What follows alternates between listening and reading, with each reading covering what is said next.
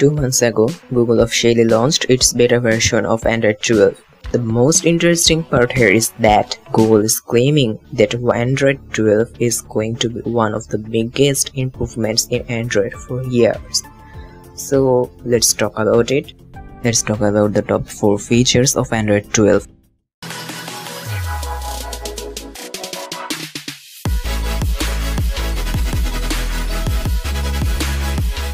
Starting with Material You. So Material You will make your phone more personalized for you. This is the whole new design.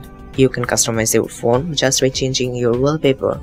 A feature called Color Extraction which will pull from your wallpaper and generate a palette from primary and complementary colors for use in the notification sheet, the settings menu, or even user interface elements, and of course the clock.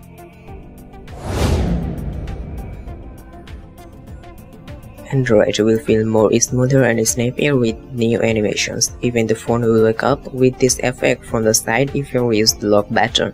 If you're picking up the device, it sort of lights up from the bottom of the device.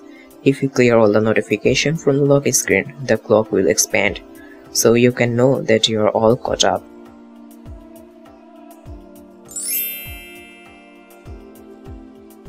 Not only the animations, Google is also claiming that they managed to reduce the CPU time needed for core system services by up to 22%.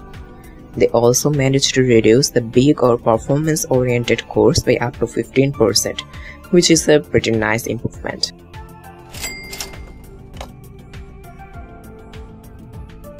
There is a new set of completely redesigned widgets.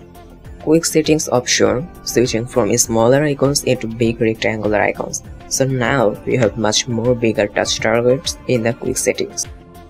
That's all for today. Hope you enjoyed the video. Don't forget to subscribe and click the bell icon.